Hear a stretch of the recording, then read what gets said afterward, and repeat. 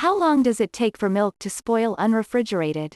A half gallon of milk, in the paper carton, not plastic, got left in the car for 1.5 hours in about 80 degree, approximately 27 degrees Celsius. Weather, evening so no direct sunlight. Is it still probably safe to eat if one has a strong stomach or pretty risky? Any particular signs to watch for to indicate it is no longer safe? Carton bulging? Off smell? Etc.? How quickly will milk spoil, unopened, in warm summer weather like that? I don't think anything will be wrong with that milk.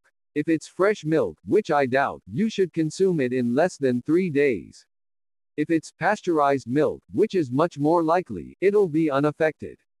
Signs of spoilage are a sour smell and sour taste. You should make a habit of always smelling your milk, food, before drinking, eating it. If it doesn't smell like you'd expect, taste it. If it doesn't taste like you'd expect, ditch it. Milk is cultivated with lactobacillus, a bacteria that's beneficial for us.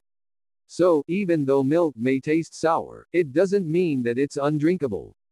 In Holland, there's sour milk, karnemelk, that some people consume. I don't like it, myself.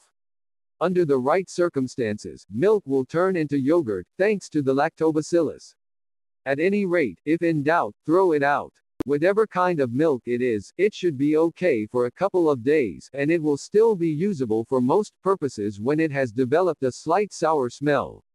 When I was young we didn't have a fridge, milk would last a day and a half to two days in hot weather, longer if the bottle was wrapped in wet newspaper. The first sign that it is going off, you notice floating white specks when you put a splash of milk in your tea or coffee. Then you notice a slight off sour smell. The milk is still useful, but close to the point of curdling. It never gets dangerous, just doesn't do what you expect after it has curdled.